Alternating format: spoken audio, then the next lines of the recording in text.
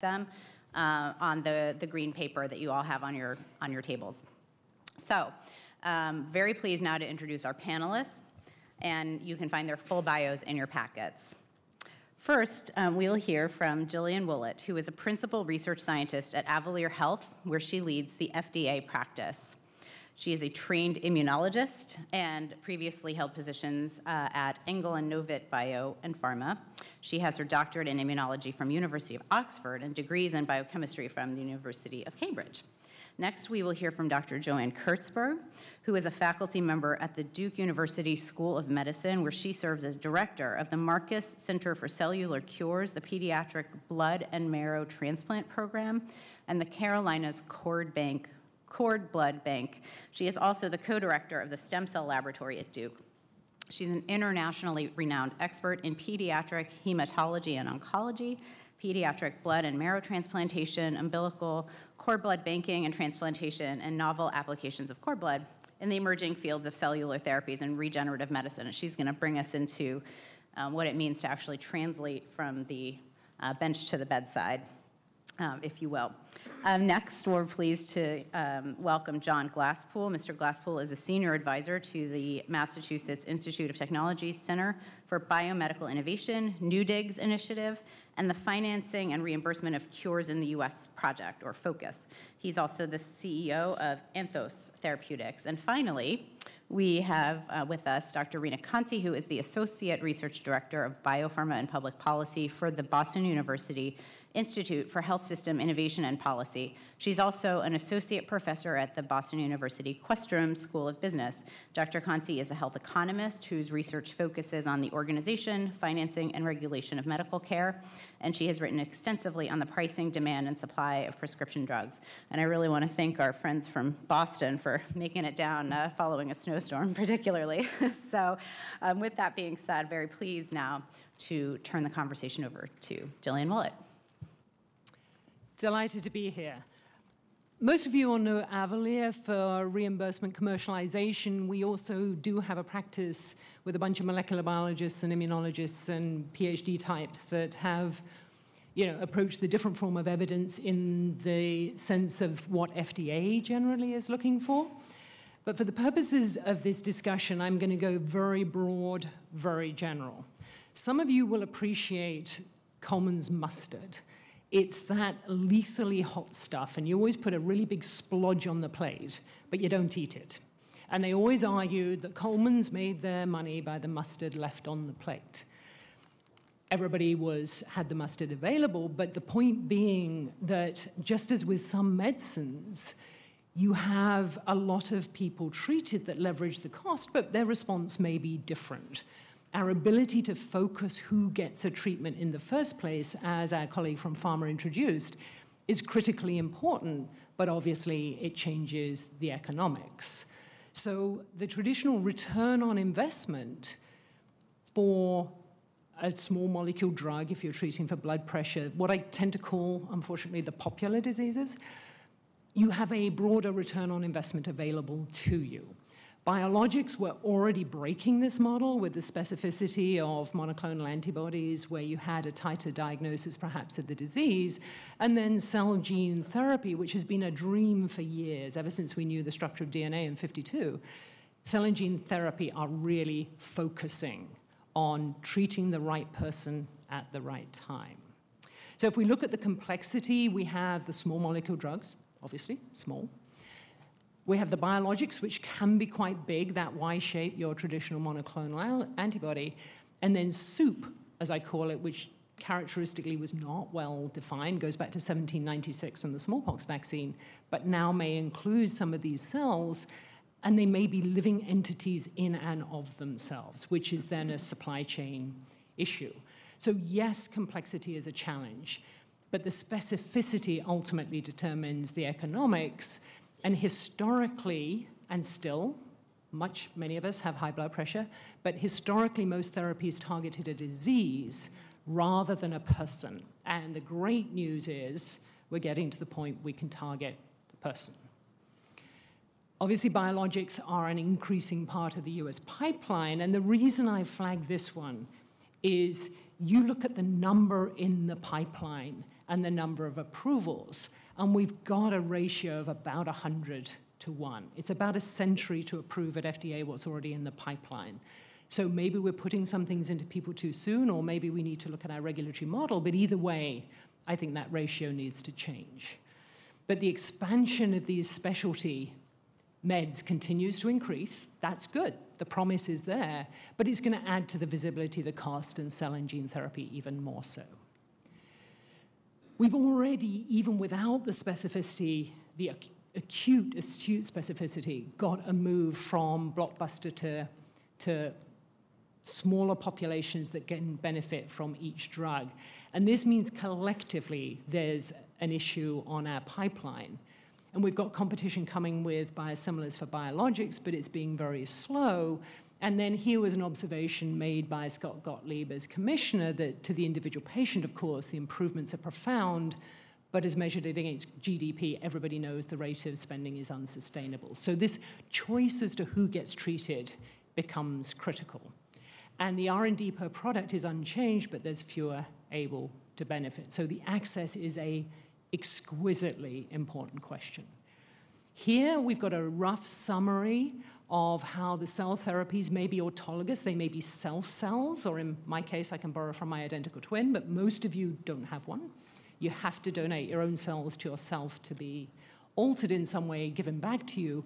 And then we have the allogeneic, which is donor essentially in the same manner that you have for tissue transplants and you get a certain scale up after the manipulation and then administration to the patients. Now, what's important here is, of course, the setting of care is a very complicated situation, too. This is not a pill that you can just take. This is the aspect of available, suitable, appropriate settings for care is massively important.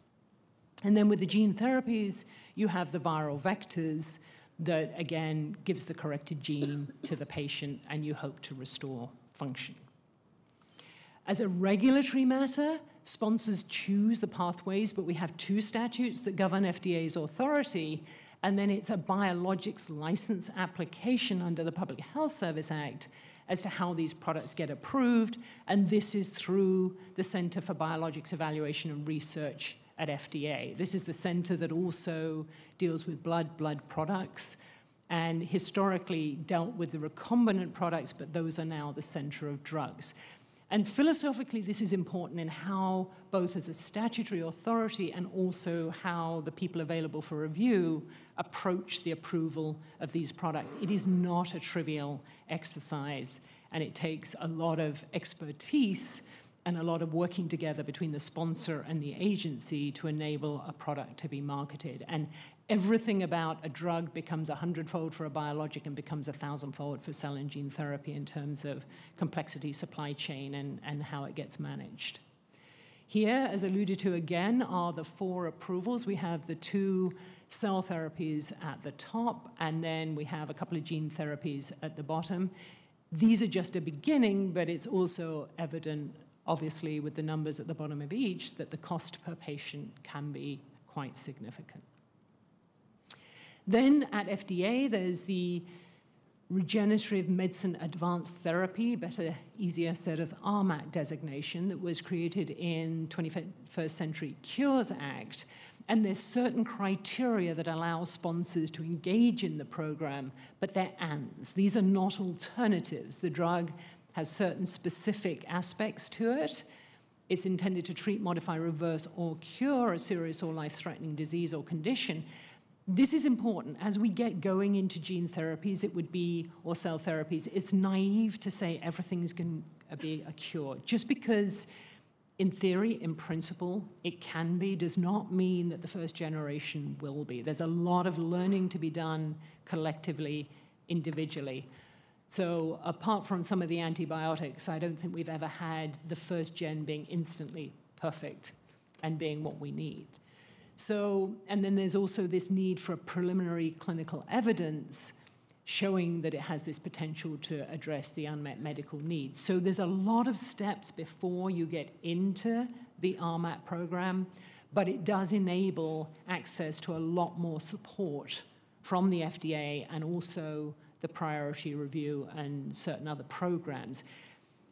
I do have a caution here that by making every drug special, we're leaving out potentially, if we're not careful, those drugs for popular diseases. But clearly, some of these are very high touch and they need the FDA engagement throughout the process.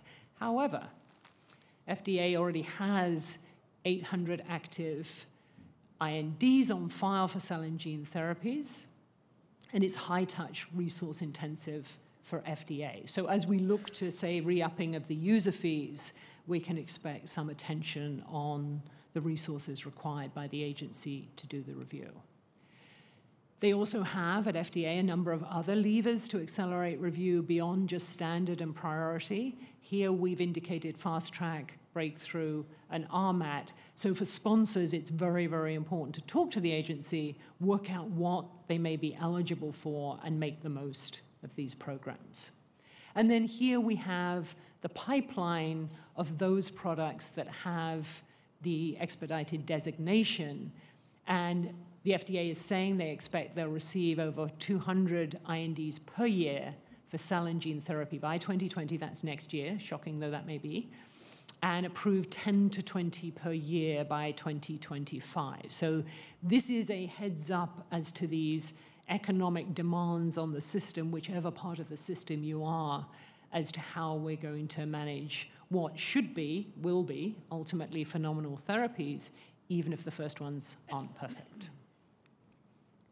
Oops. So that's an introduction to cell and gene. Thanks so much, Gillian. Joanne? So I'm a pediatric um, physician and hematologist oncologist. I forgot my instructions about the red light. Um, um, and I am really speaking from personal experience about uh, cell therapy programs that we are bringing forward in children with brain diseases. Um, I want to make a few points, though. You've heard already that these therapies uh, really can be cells, tissues, and genes that their potential is enormous um, to help exciting, um, uh, with exciting new therapies for unproven applications and unmet medical needs. Um, they're very unique because, as Gillian said, they're not pills. There's manufacturing, there's packaging, there's distribution, um, and everything about them is really different than drugs. And I'll give you an example. We have a cell therapy study in orthopedics and knee arthritis and we had to send frozen cells to an orthopedic clinic. Well, orthopedic clinics really don't know how to handle frozen cells, don't have the freezers for frozen cells, don't know how to thaw the frozen cells. So, I mean, just putting all that in place took a whole lot of training, teaching, buying of new equipment, and different kinds of expertise than is in their typical wheelhouse. Um, and I think these therapies are going to dramatically change the current healthcare system, both in delivery, but there are big gaps in the current workforce, particularly in manufacturing uh, under GMP, um, that really need to be addressed in our whole educational system. Uh, there's different techniques for storing the products that are not in the bandwidth of a typical pharmacy. Um, and administration, as I alluded to, requires very different expertise when you're talking about cells or genes um, or tissues. Um, so I work in the Marcus Center for Cellular Cures, which is a translationally focused, scientifically based center in an academic center. And we are developing cell-based therapies to treat brain diseases. Um, and our goal is to develop the therapies and rapidly translate them from the laboratory to the clinic and to the patient. Um, to do this, we're, we're like a mini biotech in an academic center, which is an oxymoron in itself. Um, but somehow we've managed to do that. And so we have a center that has its own research and development and discovery lab, a, a FDA licensed public cord blood bank called the Carolinas Cord Blood Bank, which has 45,000 cord blood units, which were donated by moms uh, to be stored and used for cell therapy and transplantation a GMP cell manufacturing lab, clinical trials group, a regulatory group, administrative group, and a physician group. Um, and we are using cord blood, cord tissue, and cord blood derived cell products uh, under IND to study indications in babies with birth asphyxia, children with cerebral palsy and autism, adults with acute ischemic stroke, children with leukodystrophies, um, and um, uh, adults with uh, osteoarthritis of the knee. And I don't have time to go into all this, but I just wanted you to see kind of the scope of what we're doing and uh, where we're coming from. Um, So one of our major focuses is using cord blood cells as therapies, and um, the FDA approval for cord blood is for hematopoietic stem cell transplantation as a cell that can rescue bone marrow after myeloablative therapy. Um, But that property is covered by a cell in the circle at the top called a blood stem cell, which is about 0.001% of the cells in a bag of cord blood. Everybody always says cord blood is a bag of stem cells, and it really is not a bag of stem cells. But it turns out there are a lot of other interesting and potentially therapeutic cells in cord blood, including lymphocytes, which people are now developing into third-party immunotherapies, and the monocytes, which are on the bottom, which is what I'm going to concentrate on today. Um, So cord blood monocytes are different than adult monocytes. So if you take my blood and try to get it to do what cord blood can do, it will not work. And that's what the graphs on the bottom of the slideshow on the right. Um, But on the upper three panels, you can see normal brain tissue in culture. This is mouse brain tissue. And in the middle, injured brain tissue. And then on the right, injured brain tissue that was co-incubated with cord blood monocytes, and it's rescued from what was a hypoxic injury. And we use this kind of data to develop a rationale uh, to put in an IND to try cord blood cells in babies with birth asphyxia and adults with acute ischemic stroke and kids with cerebral palsy.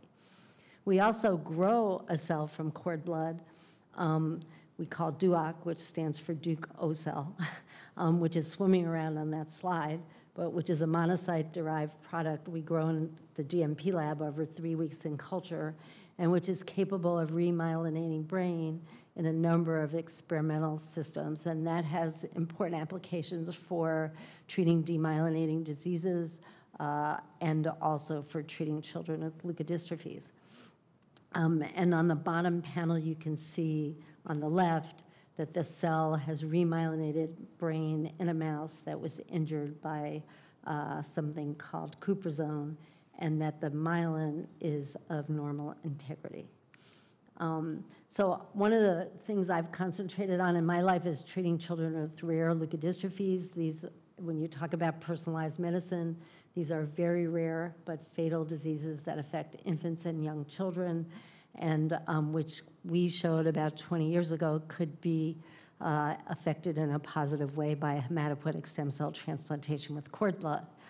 On, on the right, you see a little girl who has Krabbe disease. She had an older sister who died. She was transplanted with cord blood when she was 19 days old, and she is a healthy 15-year-old.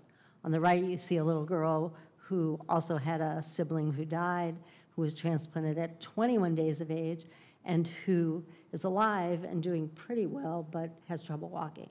And you can see in the middle uh, MRIs that show fiber tracking of their cortical spinal tracts, which are the nerves that go from the brain to the legs. And the little girl on the left has normal tracks, and the little girl on the right has an abnormal track. And these were done when these kids were two days old. So what that says is even by two days of age, it's too late to fix everything in some kids. And so we developed a therapy where those DUOC cells are now being given to children with leukodystrophies a month after a transplant in the spinal fluid um, to see if it will help rescue the damaged areas of brain more rapidly. Um, And um, we've treated 27 children, whoops, and um, have good safety results, but know that we need to do a trial without transplant to see if there's efficacy, and we're planning to do that in adults with MS. We've also studied cord blood, not with a transplant, but as an infusion, like a smart drug. So we put the cells in the blood, and they do their thing in the body, and we're not 100% in control of what they do. They, but they're smart enough to know, and this just shows you data from a published study in cerebral palsy, where um, we were able to show that cord blood improved motor function in kids with CP. That's in the middle. And on the bottom, where you see pictures of all those brain lines, that shows that cord blood cells improved or increased motor tracks in the brain in the children whose um, uh, motor function improved after the cord blood infusion. To do those scans, each scan is four terabytes of information. Each child had two scans.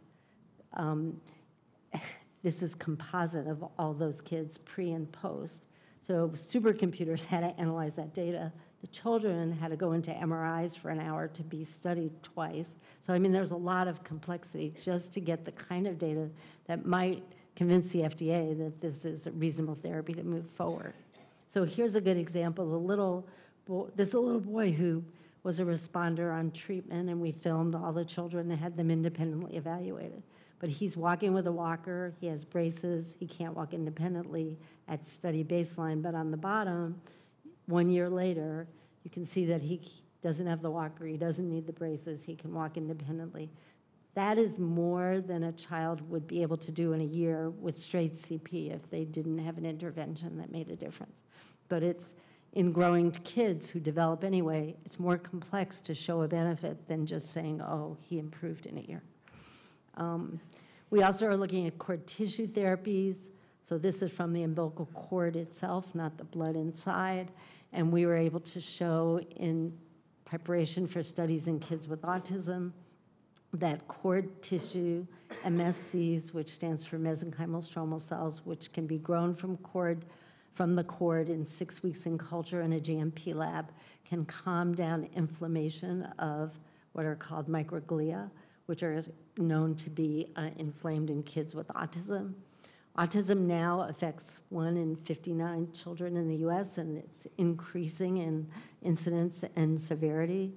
Um, the annual cost to society is in the hundreds of billions, and there is no FDA approved therapy to treat the core symptoms of autism. We uh, published a study where we showed that giving infusions of autologous cord blood to kids with autism improved in the red on the right their uh, or decreased symptoms of autism and improve their behavior. This is open label phase one, so it has to be studied in a randomized placebo controlled phase two. But if cord blood can help, then you could say, well, this is autologous. How many families actually store their own kids' cord blood? And frankly, I work with cord blood, and I think if this is going to be a, a, viable therapy, we have to make it work with donor cells, which can be manufactured more easily, more effectively, and maybe better. So we've done this study. It will be published soon, testing whether donor cells or the child's own cells compared to placebo made a difference. And one thing that we learned is that um, we need objective endpoints, not just, unfortunately, a parent saying their child is better.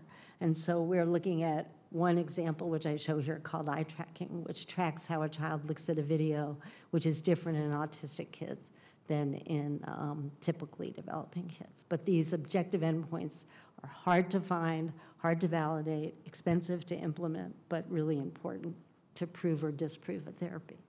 So um, because we're academic and because we have small labs and because we want to help children and we, because we don't want the cost to be super high um, to do this, 50% of the kids we see have Medicaid. Um, we, we are looking at market sizes and trying to figure out how to optimize and scale up manufacturing. But for example, if we use cord tissue and we're treating kids with CP, we have about 800,000 doses to make. Um, if we're treating kids with autism, we have three and a half million doses to make, stroke, six million, osteoarthritis and knee, 30 million. I have a little lab, and one cord tissue can make a 1,000 doses. So you, and that takes six weeks. So you can kind of do the math. But if we outsource it and upscale it, it will end up being hundreds of thousands of dollars when it really can cost tens of thousands of dollars a dose. Um, so just to sum up, um, and I didn't have a lot of time to really show you all the data, but we have encouraging early phase data to say that um, cord blood and cord tissue cells can help children with various types of brain injuries, but we have to do phase three uh, well-designed studies to confirm efficacy and then to obtain regulatory approvals. Those are long, expensive, and big processes, but these therapies have the potential to treat diseases with unmet needs and to change human lives. And when you make a child better, when you make that child be able to walk alone, it impacts the rest of his whole life. So it's not just that one thing that makes him better. Um, but clinical trials are very expensive. NIH doesn't typically fund the level of phase three that need to be done. Uh, complex endpoints require novel clinical trial designs. Point of care delivery has to be addressed, and the workforce and the competencies to do that have to be developed. Um, and we have to harmonize the FDA regulations and point of care cell therapies because some of the lines in the sand on specifications really don't make any sense. So thank you. Wow, thank you, Joanne. I know we'll have lots of questions. We'll turn to, turn to John next. Thanks very much. Um, I'm going to really pick up from where Julian and Joanne have been talking and talk about as we move more to the, if these therapies are so successful. Um, how I came to be involved in Focus was I was a head of corporate strategy for a biopharmaceutical company, was so such a believer in this technology that essentially said, well, if this technology is going to work the way we think it's going to work, then we need to change the healthcare system to support that. Um, because whilst the, the science is exciting, the benefit was clear, um, we knew that it would actually take quite some changes within the system in order to get these products used. So the Focus project is really about the financing reimbursement of cures. I think Gillian mentioned the point of whether these things are really cures. The key to me is the difference with these therapies are that they're durable. And their durability, as in that there's an initial treatment with then follow-on benefits, is what makes them very different from other drugs in the system, and I'll highlight that. The FOCUS project itself is very much a mixture of all stakeholders involved in the delivery of healthcare. So it obviously is drug developers, but it's also the payers, the providers, the regulators, and the goal of the key overall is to make sure that these innovative cures are accessible to patients. So patient access is the guiding star of the whole project. But the fact is that we believe it needs to be sustainable to all the stakeholders.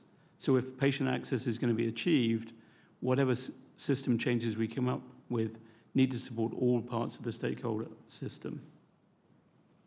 So the overall pathway which we undertake at MIT is what's called a design lab where everything we work on is obviously it's MIT, so it's highly systemized and uh, measured. But the group, there's over 50 organizations, 150 individuals, and as I say, covers all of the key stakeholders involved in, in drug development. Gillian mentioned the pipeline, um, uh, rather Jocelyn mentioned the pipeline in the beginning of 300 products.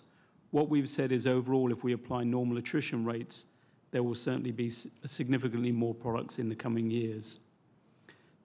The next slide shows you this difference between durable therapies and classical medicines. If you take a blood pre pressure medication, the benefit and the cost really move in parallel, very much like rent in a house. You live in the house, you pay the rent, all's well and good. Durable therapies have this acute cost point, um, where, which is much more like buying a house. So there's an acute cost point, but you get the benefit from the medicine over time. And that's the key difference, this acute cost with an assessment and an assumption of the accrual of benefit. So that gives us then three financing challenges. One is that payment timing, which is a one-time high cost. Um, the performance risks, which I'm going to cover, which is there's an assumption around the value, and obviously that value is determined by the effectiveness and the durability, given the fact we say those are durable therapies. And obviously, with these diseases being rare, there's an actuarial risk with a non-normal distribution of who in the population is going to suffer from these conditions. I should say at this point, to be clear, that the focus of focus is on the finance solutions. It isn't about setting the value per se. So we're not involved in the value assessment. But once the values are agreed, how do we make sure patients get access to the medicines? However, in order to enter this debate, you need to understand what do we think about value and not price setting. And I think there's some key elements here. Value is benefits uh, minus costs. However, the delta at the end says because of that patient variability that is inevitable uh, in, this, in these conditions, that there's going to be variability on costs and there's going to be variability on benefits. So if one's in a value-based world and you're setting a scheme to, to optimize value, then you need to take into account that actually there will be differences between value rather than just an average value. So if we use Gillian's mustard analogy, we need to make sure that the heat is the right heat and not the uh, variance in heat that was assumed. The other key factor is that we're talking about many different conditions, and this is definitely an area one size does not fit all. So we talk about gene and cell therapies, but when we're thinking about what is the burden on the system, how many patients need to get access, is there going to be a surge of demand for a product? We need to look at the specific condition. What is the morbidity and mortality? What is the population incidence? What is the population backlog? And what are the current treatment alternatives and costs? And from that, that will drive different assessments of the need from a healthcare perspective. So no one size fits all. And I think what's important is when we look at what we call cure archetypes from oncology, novel breakthroughs to quantum leaps, which is large diseases, based on the epidemic of the condition, who actually covers those conditions varies markedly. So obviously for diseases where it's a, a pediatric patient, they're going to be covered roughly 50% by Medicaid and 50% by commercial plans. Obviously, if it's a disease of the elderly, it'll be probably be Medicare. So thinking through the disease helps you also think through who's the likely payer and what are the system challenges we have in order to put a solution in place for, for that particular disease, given the disease incidence and prevalence. And so the goal of the financial tools is to make sure that we get to the, this precision financing and we deliver the value that's assumed, and that when people are paying for value, it is value achieved. There are three ways that we feel that uh, Focus MIT is to do that. One is short-term milestone-based contracts, and this is where specific payments are tied clearly to outcomes. So Jocelyn, in her introduction, mentioned that companies are moving in this direction. I personally am a big believer that you know the healthcare system we have is built on paying for inputs. What did you receive? What diagnostic did you receive? What drug did you receive? It needs to move to paying for actually outcomes. And obviously, when you're talking about this value, both in terms of clinical value to patients and then in terms of that accrued benefit leading to a higher cost, it's really important that you do actually pay the value that has been achieved. The second one then is multi-period performance. We talked about that it's more like buying a house rather than renting a house. And so here, this is annuity payments based over a number of years, likely three to five years, to spread that cost. And then the third tool that we feel is appropriate would be an orphan reinsurer benefit manager that can carve these patients out, given their rarity, given that actuarial risk, and manage them independently uh, of the rest of the population. And overall, we believe that these solutions need to be customized for each disease and satisfy each stakeholder. The regulatory and policy landscape which we, which we feel may hinder, or more positively, if we can adapt it, will actually enable these changes to take place with regards to um, annual annuities, with regards to milestone-based contracts and value programs and all of the following. The key, one of the key ones is the drug price reporting and rebate. Um, there's some key changes here adapting to multi-year performance structures. So normally, obviously, those rebates are in a given financial year. How do we manage that when it's across multiple years?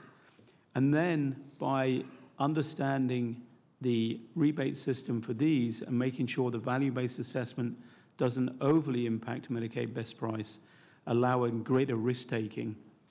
So rather than the greater risk can be taken if we recognize there may be some patient failures if that failure doesn't lead then to a catastrophic drop in the Medicaid best price. And an example of this could be weighted assessments of performance versus a single, a single case performance. Anti-kickback statutes have been a concern. However, obviously, as you've seen recently, this is definitely an area of work in progress. And there's been uh, recent announcements that this is being developed and worked on, so I've grayed that out. FDA communication guidelines to enable appropriate performance metrics. Joanne, in her talk, talked about the complexity of measuring some of these conditions and the ability to measure improvements. And what we need to be very clear of is that the endpoints that may be acceptable to regulators may not be of the most value to patients and may not be the easiest to measure for payers. And so understanding that and understanding the fact of how will we actually capture that value in a value-based agreement um, is critically important. And then making sure that the FDA doesn't pen penalize people for talking about endpoints which aren't actually in the label, but are directly tied to the clinical outcomes that are important, would be a huge benefit. Clearly, as we're talking about individual patient performances, and we clearly want to keep patient privacy front, front and foremost, making sure that HIPAA guidelines enable data visibility to the involved part, parties without exposing patients is important. And finally, making sure that insurance regulations are appropriate, deductibilities and copay waivers may not be appropriate for these, these acute, uh, durable conditions. So that's the focus project, and I appreciate you taking the time to listen. Thanks, John. All right, Rena, bring it home. No pressure. um, good morning, everyone, and thank you so much. And thank you, the Alliance, for this incredibly um, inspiring panel. So, um, just by way of introduction, um, I'm a health economist. Before I was faculty at BU's Questrom School of Business, I was faculty at the University of Chicago and held an appointment in the pediatrics hematology oncology department. It was there, um, under the tutelage of my department chair, who is a stem cell um, uh, biologist, that I really started to understand the true breakthroughs that we are on the precipice of having for children, um, but also for people, for adults as well. And um, it also inspired some work that I'm doing right now on trying to understand the financial toxicity and the access points um, or problems that people are facing um, in accessing this therapy, these therapies for people with um, blood cancers, in addition to other uh, very high cost but potentially high value therapies as well. The other thing that you should note is that I, as a card carrying economist, I have a tattoo of a, a pocket protector in my, I swear. I, um, I'm a voting member of ICER. And um, because of my interest in pediatrics in particular, um, I've really become very sensitive to the way in which cost effectiveness analysis is applied to pediatric populations and very rare disease populations. Um, I will be a voting member of the committee that reviews the first stem cell therapy that comes out in a couple of months. And then lastly, I should tell you that I have a very long-standing interest in the financing of cures. And I mean cures in a very specific context, as in we know it when we see it, true mortality and or morbidity gain that is, um, that is uh, durable, as James said. We have cures already including for vaccine, including those embodied in vaccines. So they're not new concepts, um, and one should think about the financing and organization of cures in that context as well. As part of that longstanding interest, I am part of a team that is that proposed the first ever subscription model to provide um, guaranteed access to everyone insured by Medicaid and also the state prison population who are infected with hepatitis C and eligible for treatment under the, DA, the current new, newly available DAAs. That subscription model, you may have heard in the news, is being piloted in the state of Louisiana. We've already treated something like 1,500 people. And um, and it's based on that very exciting new development that I think we can actually make some progress here in thinking about how do we actually finance this and think about this moving forward. Lastly, I'm a card carrying economist. So I'm really, my comments are uh, really meant to think about first principles. What's different? What's the same here for these therapies? And I promise there will be no math. Okay. Oops. Oh no. Okay. Okay. So, the first thing that is very important about these therapies is that we're all in it together. By definition, these are acts of God.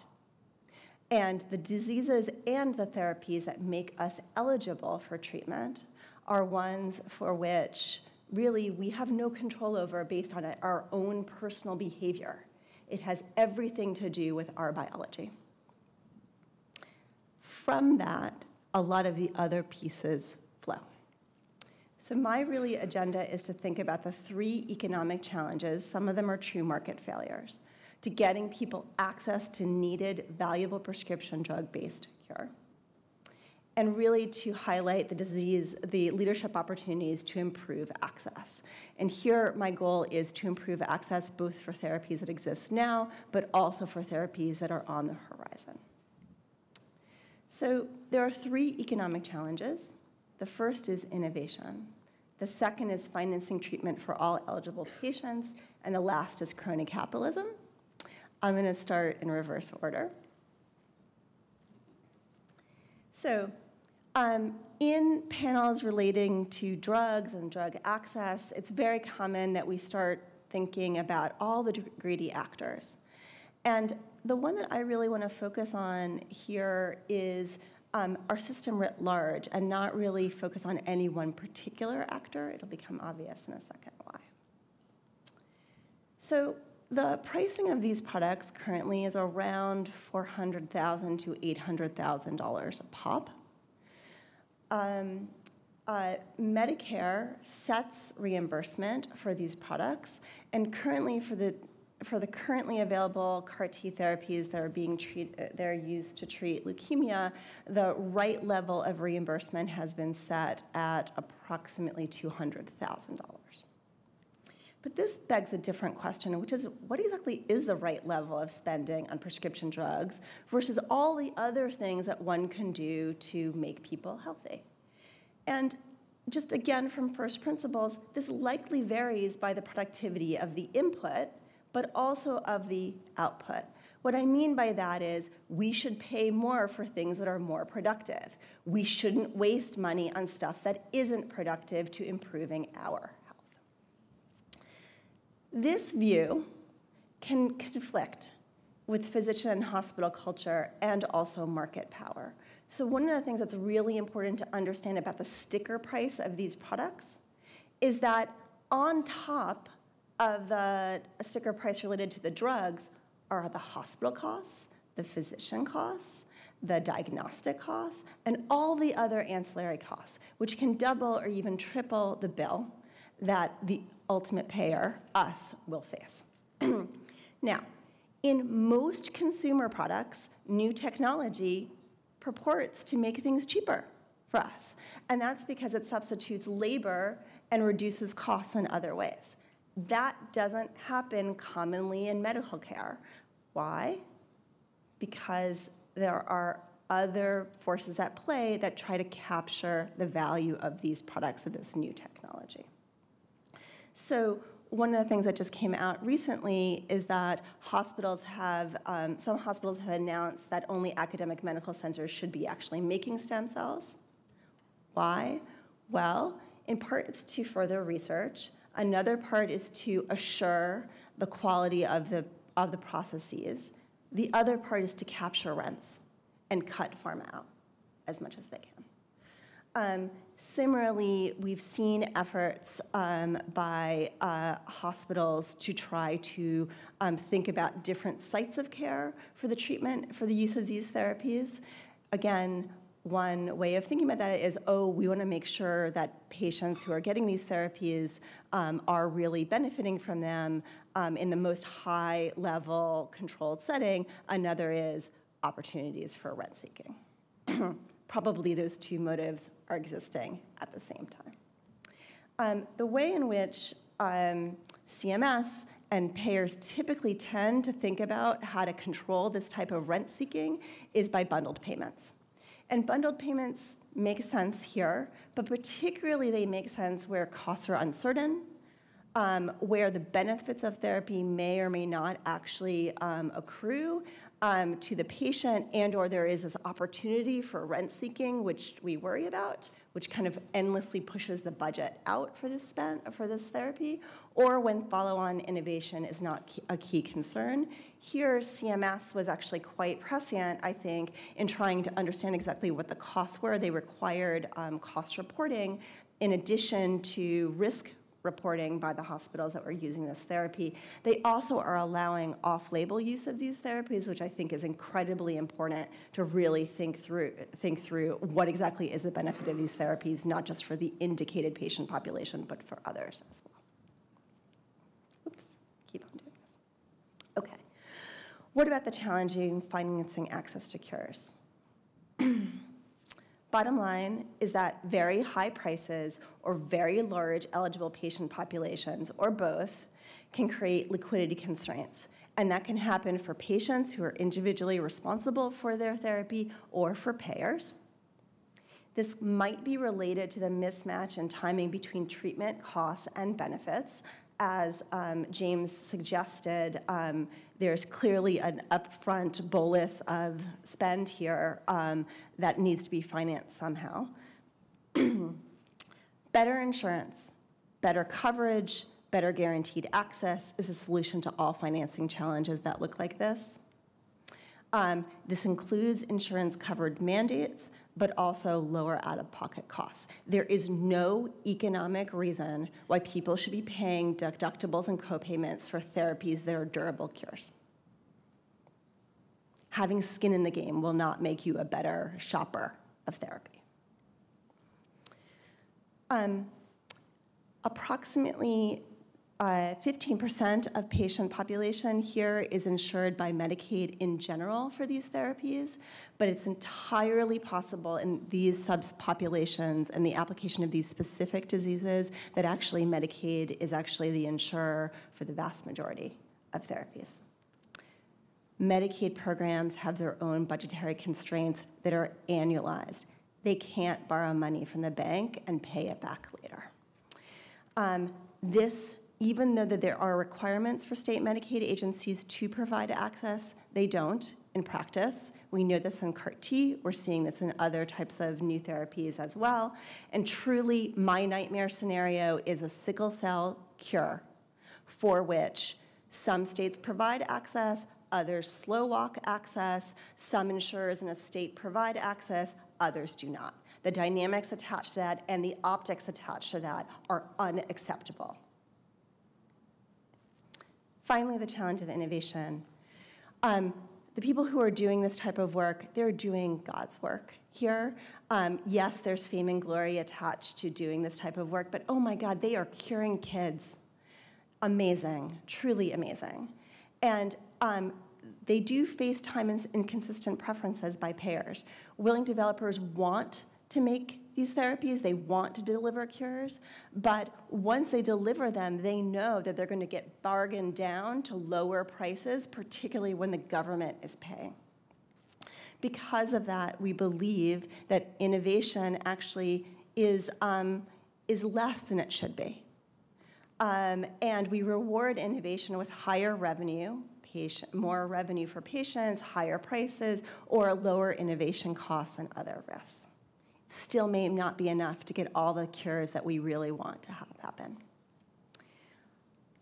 Um, I'm going to sum up with just some observations on leadership, and I'll make this quick, I promise. Um, the first is that improving insurance resolve most access challenges for patients. This, by necessity, requires shifting money around. That's what insurance does. It's a forced saving mechanism between periods of healthy states to periods of sick states between healthy people and sick people. We need to find a way of, of, of sharing those risks, and there are ways of going about doing this that don't break the bank.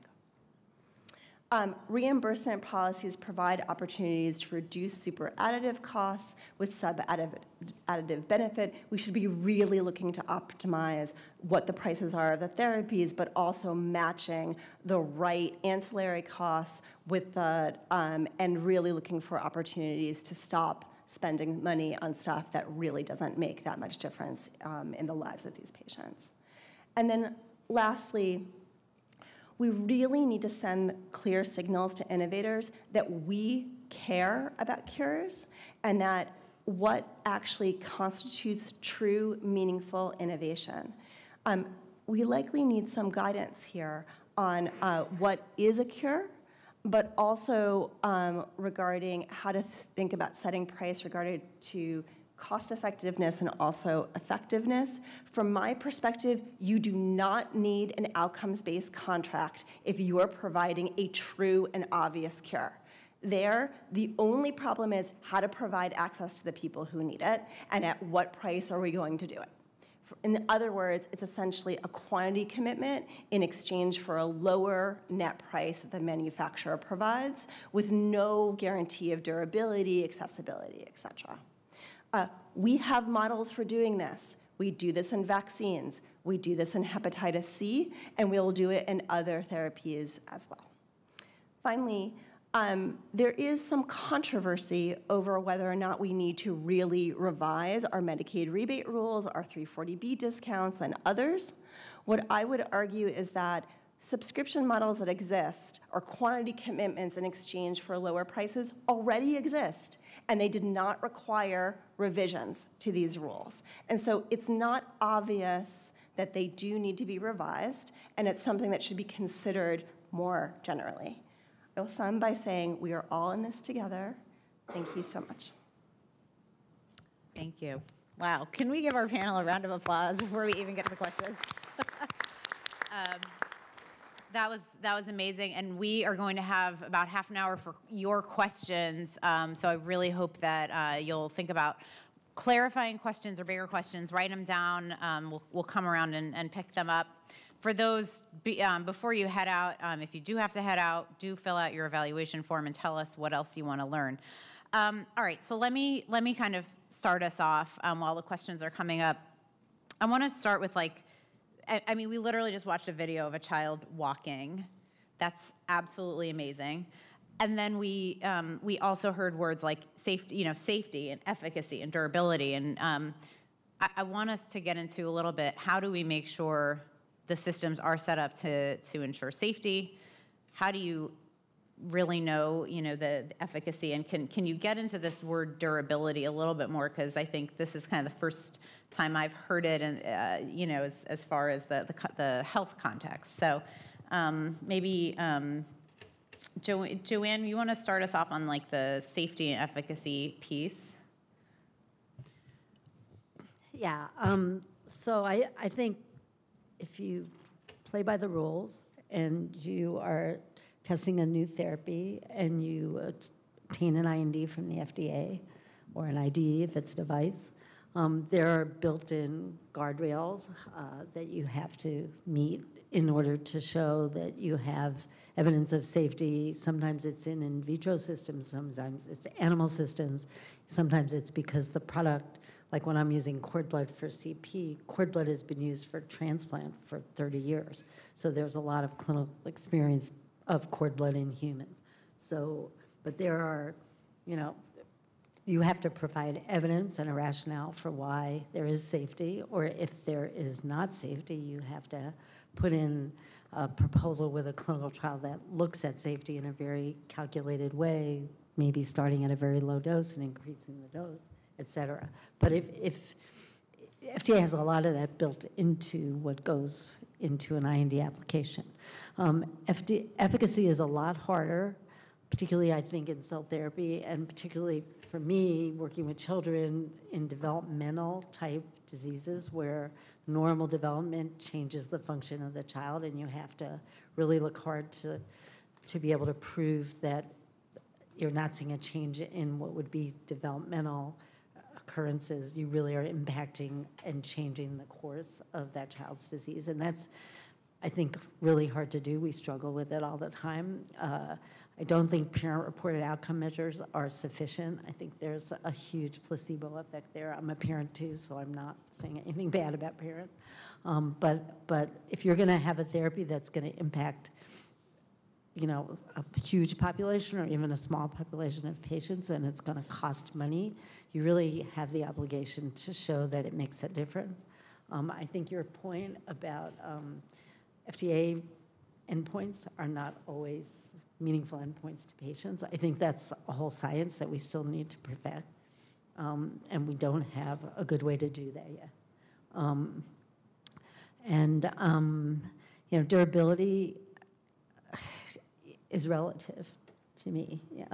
Um, but in the diseases I'm working right now, obviously, if you can make an impact that sticks and impacts other things in a child's subsequent life, that, that's hugely important.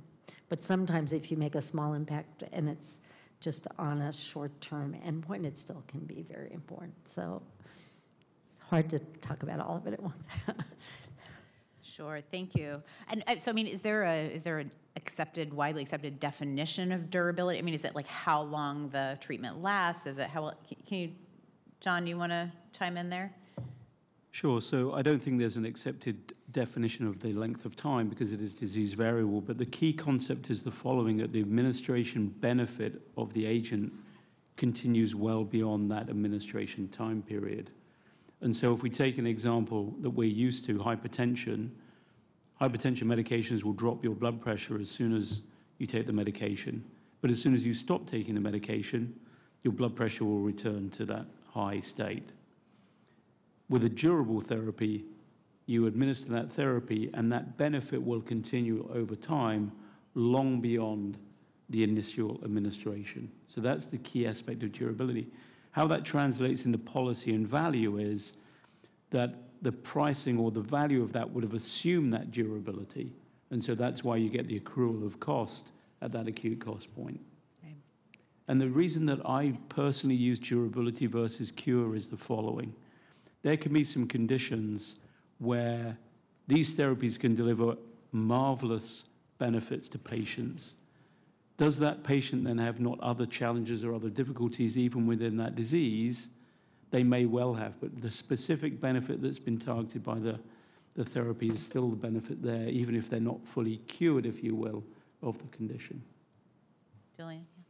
So I've got a clarifying question. So are we prepared to make the assumption that however much benefit you reach is a plateau till the end of time? Because otherwise, the ongoing studies to realize the cost for any subsequent decline become a real hurdle to development, right? As to when do we know what we need to know to make the decision?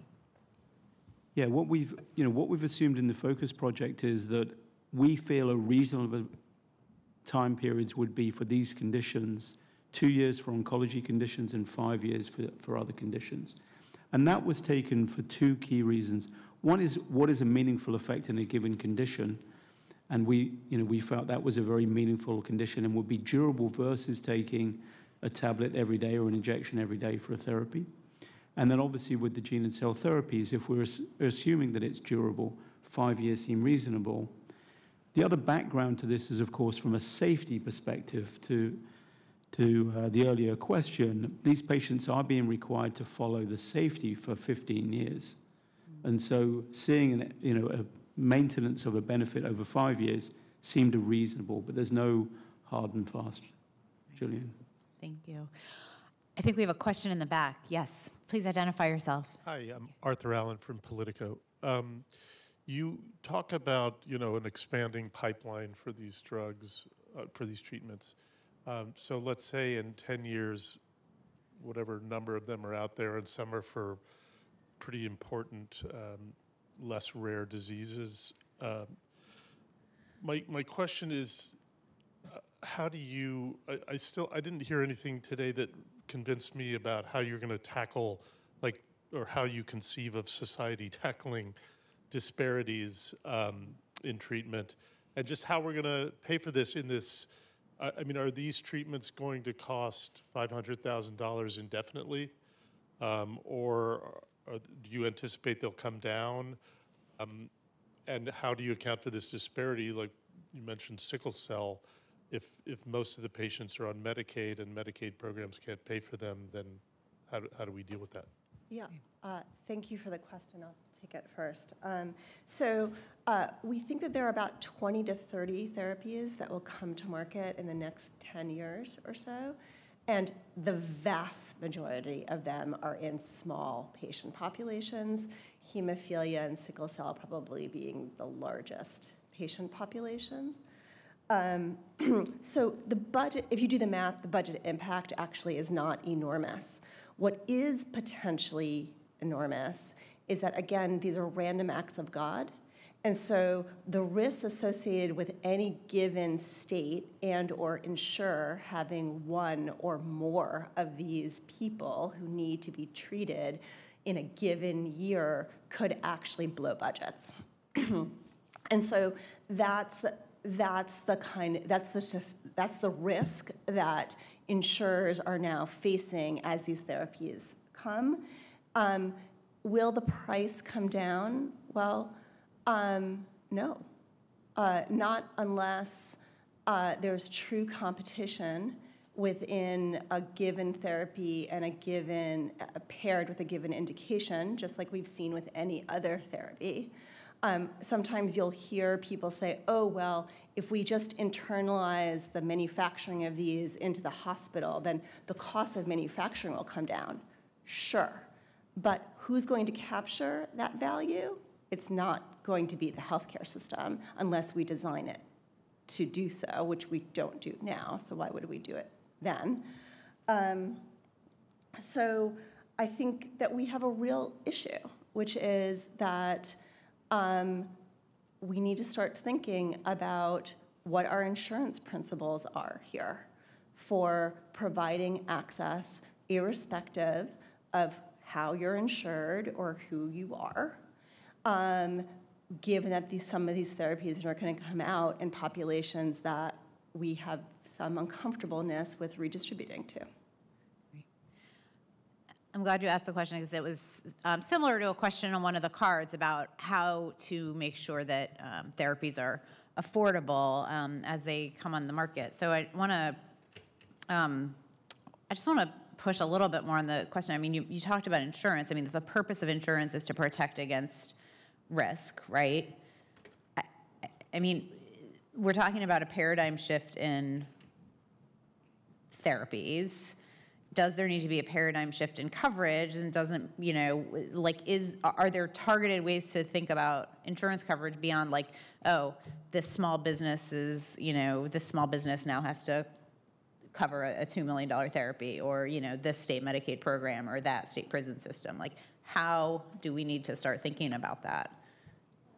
So we, again, I think the way to do this is to think through by analogy, which is we have other therapies or other types of disease for which we now have treatment that is quite effective, for which there is an incentive or there is some disparateness in insurance coverage. So there were mental health parity acts um, that swept through the states and ultimately became a federal law, and that essentially instituted a, a kind of set of conditions upon which we are going to provide access um, to therapies because we know that health is good for these individuals, but also it's good for society to actually have um, some basis for coverage. I don't see why we wouldn't want to have some sort of parity laws that look similar to address these issues. You don't have to go all the way towards a federal mandated benefit that, as- like end-stage renal disease, um, to get to a much more assured, even sense of coverage and reimbursement. I want to go down the line hear to, yeah. that- You might hear that as being proposed by some folks. Can I just um. add one point, which for these conditions that we're talking about in this particular panel, they're very different than our other ongoing medicines in that that benefit, once delivered as a, as a gene therapy, that patient should leave the po- patient population for that particular condition. Now, that's not to say they won't have other health challenges that need coverage, but once they're treated, they will leave the patient pool and you will then be left treating each year with just the incident population, not the prevalent population. And we have a great analogy that we've seen in the real world for that, which is the hepatitis C. Great concern about the bolus of patients and the surge at the beginning. But if we look at what happened there, two factors happened. One was the a quick entrance of another competitor drove down prices. But the most important driver was that patients left the patient pool and the incident population cost much less. That's very different than many other diseases where once someone's been treated for the condition, overall they require being treated for life, and that burden is ongoing. And we should not lose sight of that for these rare uh, orphan conditions where we're actually changing them and taking people out of the disease pool that they're currently in. Let me, let me ask a clarifying question about the pipeline. Um, see if uh, maybe Gillian put you on the spot, um, but if others want to chime in, I mean, how many of these drugs that are in the pipeline now or therapies, are, you know, do we think are, are going to be kind of pills? How many of them are going to be kind of a shot? How many of it is like an, you know, a one-time, you know, massive like transplant process like CAR T? Like, do we have a sense of, of that and, and how that's going to affect the system? I'll certainly defer to others, but I think we're anticipating high touch care in most of these situations. But I think to the point of the parallel of Hep C, you know, we've also got some of these things with biologics in general. And the question is back to what is restored. We have it with RA if people are disabled, but you can mitigate and allow them to continue working. So, I mean, I think the system has a tremendous number of versions of different levels of intensity of care anyway, and there's going to be some variability. But the fact that you're going with gene and cell therapy, understanding the basic mechanism of the disease is very different from historically we had with a pill. And I'm willing to say at this point, I'm not anticipating anything, any of them being a pill in my lifetime. I mean, there is an associated level of diagnosis and care. There is also just to at some level hedge a little bit the act of God. There are going to be some that are genetic tendencies. And, you know, sickle cell is going to be one of them that we have to understand that some of them, if not preventable as diseases per se, they're anticipatable in ways that society may choose to manage. And different societies will choose differently. I mean, this is the other thing. when you're developing a therapy, it's often global development or at least the highly regulated markets, and we are going to have evidence coming in ex US in situations where we do have a denominator and can look at these things a little bit more differently. So, just to add to the mix. So I want to ask a question about competition because that comes up a lot in these kinds of conversations. I mean, given, you know, it's we're not just making a generic version of a an aspirin or something, and you know, we've gone through this conversation with biologics um, and the sort of follow-on biosimilars. Is there any meaningful kind of conversation to be had about competition? Like, what does competition even look like when you're talking about a whole process? This is the one good news bit that I'd like to add is the science is cumulative. And so we are learning to some extent across platforms on certain of the vectors, certain of the approaches. What is a good clinical way of handling these cells? And having joined Joanne before in, with FACT and the Foundation for the Accreditation of Cell Therapy, there are good practices now that we know are good practices. So there may not be enough trained people, but there are things that we now know we have to do in order to keep cells alive. So I think the doability is based on the experience. And we did have a tragedy a few years back when the whole field took a step backwards. Um, and we do have an incredibly risk averse and very careful FDA to deal with. But I think the cumulative novel, novel the cumulative model of the science and the shared experience collectively and the degree to which some of this is public is actually a plus. Uh, Agree completely. Um, I think with hepatitis C, there was just straight therapeutic obsolescence. So um, new therapies came out, there are competitions between firms, and over time, there are products that don't exist any longer in the market that frankly did provide benefit to people. They're just not as good as the therapies that we now have. Um, and so that is the way the world works. We see it in other consumer products. My view is that given these are very small patient populations. Um, It takes a lot of money and a lot of effort and a lot of risk, frankly, to be invested in these. There's no reason that we shouldn't see, particularly for the larger patient subsets, some competition between firms and trying to get to market. Um, Where they'll, they'll not, they will try to, uh, the- these firms will try to split the market into uh, therapeutic indications that are not completely overlapped, we'll see, to try to avoid potential therapeutic observations or, or straight head-to-head comparisons, we'll see. But um, my view is that we're not going to see a significant amount of competition between firms in a given therapy indication patient subset pair. Um, And if and when we do, it's likely going to be um, winner-take-all markets where uh, there's just the best one wins. O- Overall, I agree with that for the, for the orphan. Um, I think for some of the rare ones, there will be competition. Uh, We see that in sickle cell, there's three drugs close to market. We see that in hemophilia B, there's four drugs to market. And I think that will lead to the same market dynamic that was observed in hepatitis. And so that market dynamic will come to play in terms of ensuring that value is achieved. Um, All right, I want to ask, I've, I've got two more questions. First, I just want to take a look at the room. Does anyone have a question? You can raise your hand, write on a card. We've got about 10 more minutes. All right, I'm going to keep us on the hot seat on um, affordability for a second and just, um, and, and then I've got a, a a second question before we wrap up. So, um, price, you know, Rena, you talked a little bit about ICER. We're not going to be able to get into all the details here, but like, talk a little bit about, given that these are very expensive to therapies to, to bring to market, how do we even begin to think about um, what the price should look like? Why don't I have the hard question? So, um, again, reasonable standards of price apply in this market like they do in others. Um,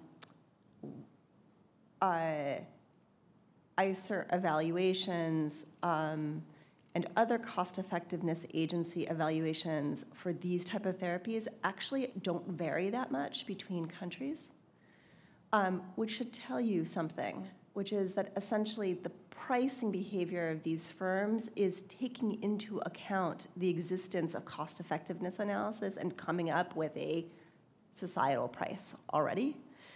Um, and um, ultimately, um, the value provided will be reflected in the price, but also will be reflected in the coverage and reimbursement levels that are set by the government payers.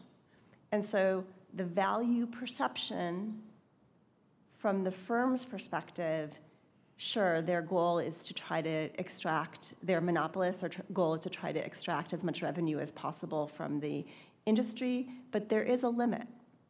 And that limit has to do with coverage and access. We're already seeing with the CAR T therapies that there are very significant hurdles for patients receiving access to this therapy. And so, sure, we're willing to pay high prices for them, but that is not translating into very significant revenue because the quantity is lower than it needs to be. So there are trade-offs.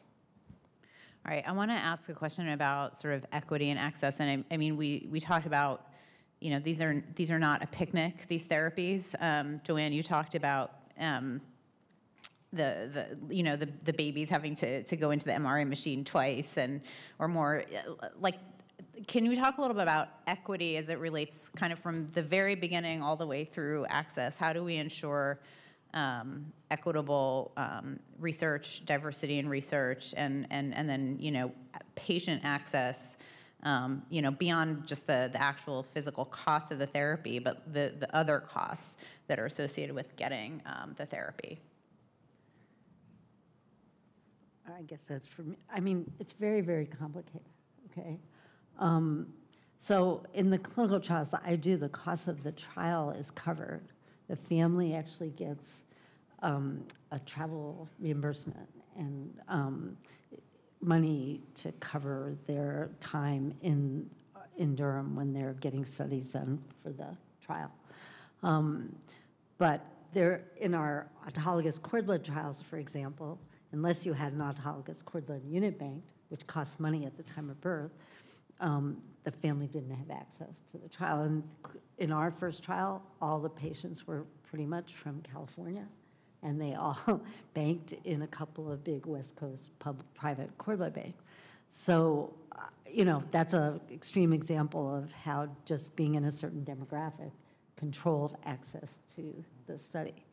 Um, but, uh, you know, I, I I think when you're providing care, particularly complicated care, uh, it's not just about covering the cost of whatever the therapy is, because that's kind of, not that it's not hard, but that's the lower hanging fruit to me. So in my transplant program, we have a family support program, and that pays for all the stuff that medical care doesn't cover for families who are coming for weeks or months at a time, because they have other expenses at home, they have travel expenses, they come without winter jackets and it gets cold. They need to, you know, food for the kid in the hospital is provided, but not for the mom or the dad.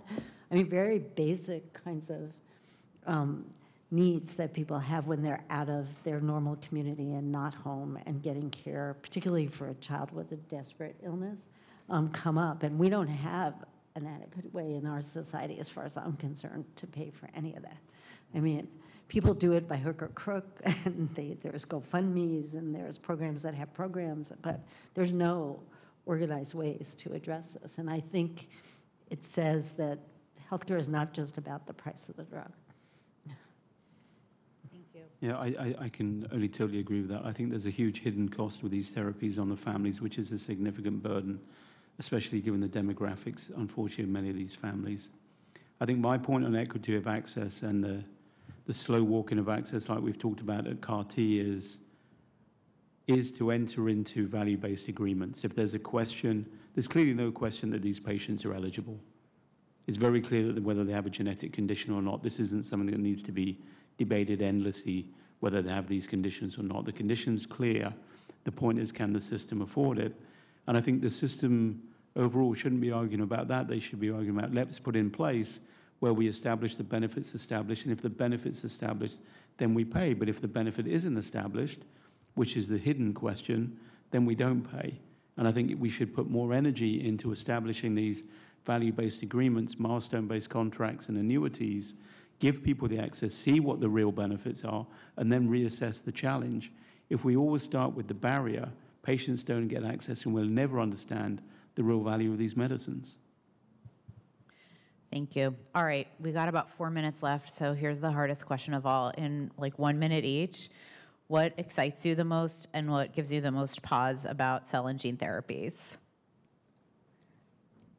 I think the fact that we're now on a road where we agree they work and we have a few approvals, science is cumulative. And so, therefore, we've got that hope. We just have to work out the mechanics of ensuring at some level that those that can benefit the most can access, even if not everybody can benefit. And I do worry in broader sense on who's deciding and on what basis, because the good news is that binary decision up front, but then the level of benefit and what it's worth to whom is a tough one. So I think these are incredibly promising therapies and that they will be the next big advances in the next decade or two of medicine. I think we're beyond drugs um, and into something much more powerful. But I think we're at the we're in the infancy. We're one day old, um, and we there's so much work to do. And it, I think proving that which therapy has efficacy or not, and then figuring out the logistics of manufacturing and access are incredibly challenging and doable, but but not trivial. Certainly, what excites me is the potential to truly transform patients' lives, and I think in the case of pediatric disease, families' lives.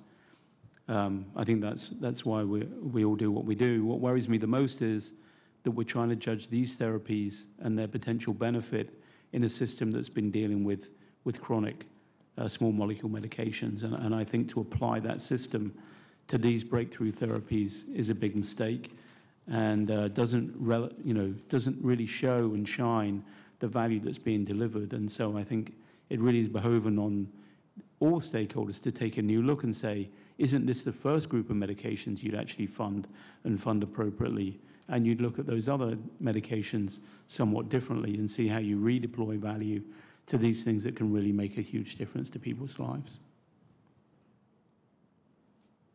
Um, The ability to transform people's lives for the better, I think, is what's so exciting.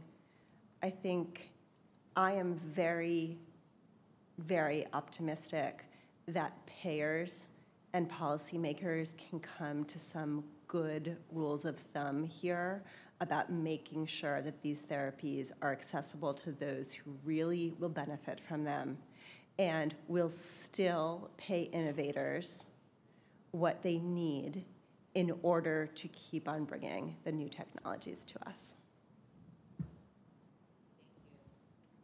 Thank you so much. So um, we have covered a lot of ground today. I think we could drill down into um, about 20 different topics and, and have another hour and a half panel on, on each of them.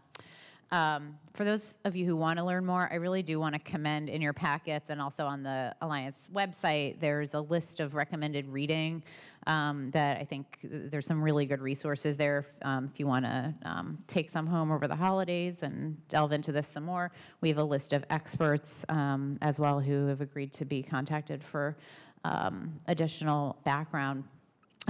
So with that, I want to invite you in the name of value and innovation, fill out those blue evaluation forms. We really do use them. Um, I want to thank um, our sponsors for making today's briefing possible and our entire signature series on navigating the frontiers of value innovation and innovation. And please join me in thanking our panel.